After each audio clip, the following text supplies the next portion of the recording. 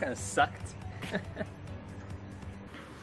okay, so tennis ball versus a extremely cheap sword. Uh, tennis ball, tennis ball killed it. Um, yeah, let's give this another try. Let's see if we can somehow secure this better and see if we can get that tennis ball to slice it off. Hey! Check that out. Okay, well that sort of worked. Tennis ball versus sword. Uh, yo, I'm gonna call this one a draw. Because tennis ball destroyed the sword and the tennis ball got destroyed too.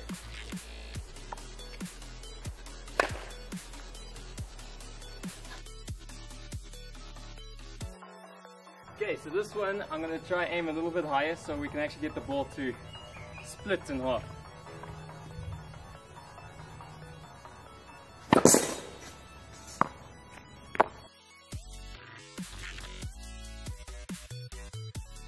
Getting closer.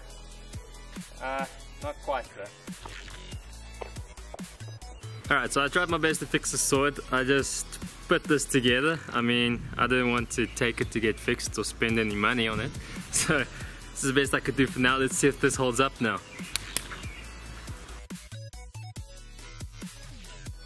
Now the ball not quite through.